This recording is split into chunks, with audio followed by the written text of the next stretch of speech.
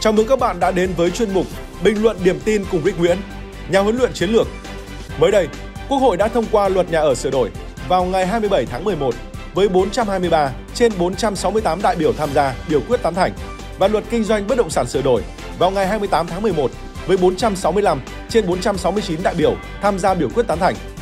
Luật nhà ở sửa đổi được đánh giá có chất lượng tốt nhất trong hơn 30 năm qua, kể từ pháp lệnh nhà ở 1991, luật nhà ở 2005 và luật nhà ở 2014 được ban hành.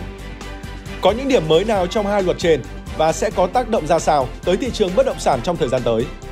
Việc hai luật trên được thông qua trước hai dự án luật đất đai sửa đổi và dự án luật các tổ chức tín dụng sửa đổi, liệu có điểm nào mâu thuẫn hay không? Hãy cùng bàn luận cụ thể hơn trong phần bình luận điểm tin ngày hôm nay. Luật nhà ở và luật kinh doanh bất động sản sửa đổi được Quốc hội thông qua. Những điểm mới đáng chú ý.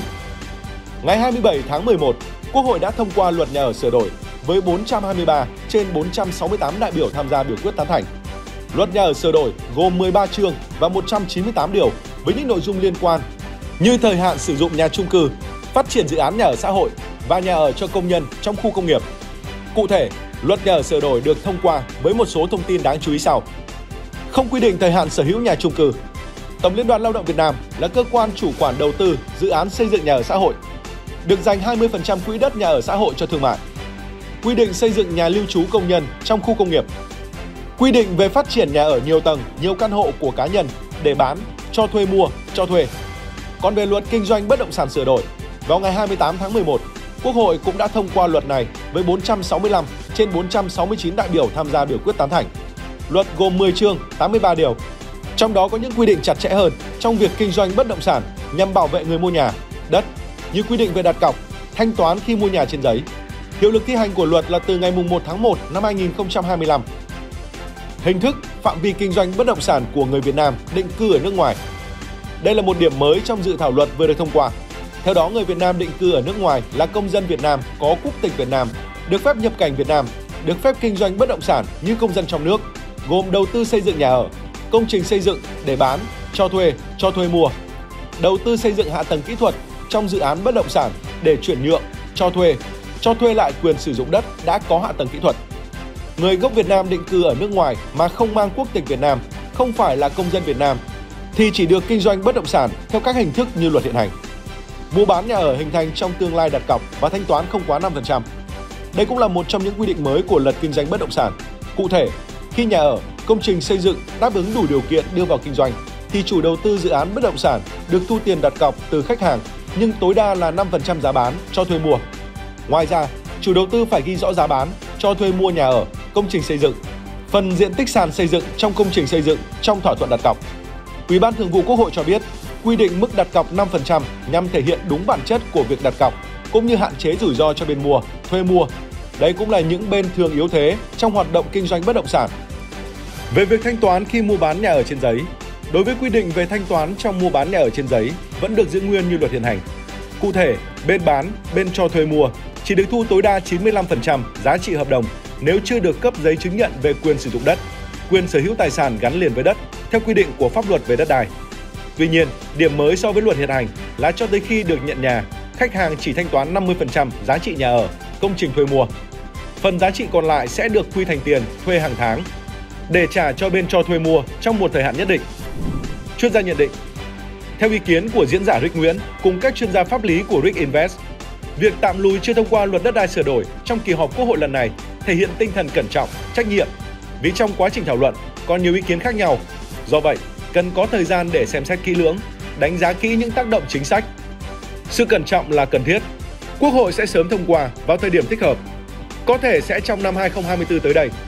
Còn về luật nhà ở sửa đổi và luật kinh doanh bất động sản sửa đổi vừa được thông qua, luật nhà ở sửa đổi có tác động tích cực đến thị trường bất động sản Việt Nam, đặc biệt là đối với các loại hình nhà ở xã hội và nhà ở cho công nhân. Về nhà ở xã hội, luật nhà ở sửa đổi đã bổ sung quy định Tổng Liên đoàn Lao động Việt Nam là cơ quan chủ đầu tư xây dựng nhà ở xã hội cho công nhân, người lao động thuê. Đây là một quy định quan trọng, góp phần bổ sung nguồn lực đầu tư phát triển nhà ở xã hội. Ngoài ra, luật nhà ở sửa đổi cũng quy định chủ đầu tư dự án nhà ở xã hội được ưu đãi dùng tối đa 20% tỷ lệ diện tích đất trong phạm vi dự án cho kinh doanh dịch vụ, thương mại và cả nhà ở thương mại.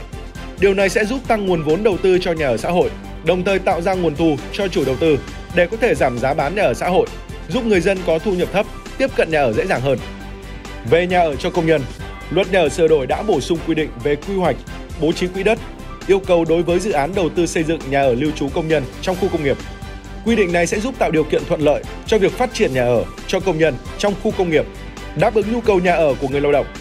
Bên cạnh đó, Luật nhà ở sửa đổi cũng bổ sung quy định về nhà ở nhiều tầng, nhiều căn hộ có mục đích hỗn hợp, cả bán, cho thuê mua, cho thuê sẽ giúp đáp ứng nhu cầu đa dạng của người dân về nhà ở. Còn đối với luật kinh doanh bất động sản sửa đổi có tác động tích cực đến thị trường bất động sản Việt Nam, đặc biệt là đối với người mua nhà, đất. Về hình thức, phạm vi kinh doanh bất động sản của người Việt Nam định cư ở nước ngoài. Quy định này sẽ giúp mở rộng cơ hội đầu tư kinh doanh bất động sản cho người Việt Nam định cư ở nước ngoài, góp phần thu hút vốn đầu tư nước ngoài vào thị trường bất động sản Việt Nam. Việc mua bán nhà ở hình thành trong tương lai đặt cọc và thanh toán không quá 5%. Quy định này sẽ giúp hạn chế rủi ro cho người mua nhà, đất khi mua nhà ở hình thành trong tương lai. Theo quy định hiện hành, người mua nhà ở hình thành trong tương lai có thể phải đặt cọc từ 10 đến 20% giá trị hợp đồng, thậm chí cao hơn.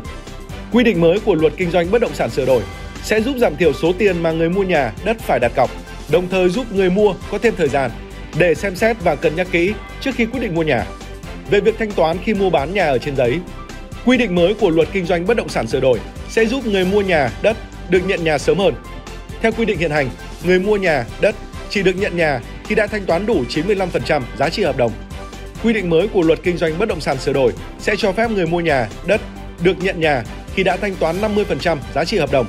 Phần giá trị còn lại sẽ được quy thành tiền thuê hàng tháng để trả cho bên thuê mua trong một thời hạn nhất định. Điều này sẽ giúp người mua nhà, đất có thể sử dụng nhà ở ngay sau khi mua nhà mà không phải chờ đợi quá lâu.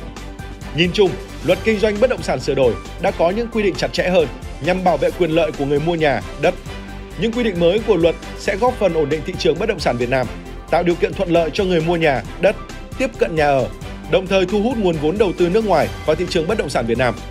Còn tác động đối với phía các nhà đầu tư, việc thay đổi các quy định này cũng sẽ giúp ngăn chặn các dự án ma do các đơn vị chủ đầu tư kém uy tín được huy động vốn, giảm rủi ro cho các nhà đầu tư nhỏ lẻ. Về lâu dài sẽ giúp thanh lọc thị trường để từng bước đi lên phát triển bền vững. Tổng kết lại, Việc thông qua luật nhà ở sửa đổi và luật kinh doanh bất động sản sửa đổi hy vọng sẽ giúp cho thị trường bất động sản tiếp tục phát triển ổn định, lành mạnh. Ngân sách nhà nước qua đó sẽ tăng thu. Việc tái đầu tư lại xã hội như mở rộng trường học, xây dựng công viên, phát triển nhà ở dành cho người thu nhập thấp, công nhân khu công nghiệp sẽ có thêm nguồn lực để thực hiện tốt hơn, góp phần phát triển kinh tế xã hội, ổn định kinh tế vĩ mô và đảm bảo an sinh xã hội. Tuy nhiên, về thời điểm thực thi chính sách luật này còn phải chờ trong thời gian tới đây khi mà luật đất đai sửa đổi chính thức được thông qua ta mới có góc nhìn toàn diện hơn. Còn bạn có nhận định đánh giá thế nào về việc thông qua luật nhà ở sửa đổi và luật kinh doanh bất động sản sửa đổi? Chương trình bình luận điểm tin bất động sản cùng Rick Nguyễn số lần này xin được phép khép lại. Mọi ý kiến đóng góp và tham gia bình luận xin vui lòng để lại dưới comment. Thay mặt những người thực hiện chương trình, xin cảm ơn quý vị đã quan tâm theo dõi. Xin được kính chào và hẹn gặp lại quý vị trong những số bình luận điểm tin bất động sản tiếp theo trên các nền tảng của Đích Nguyễn.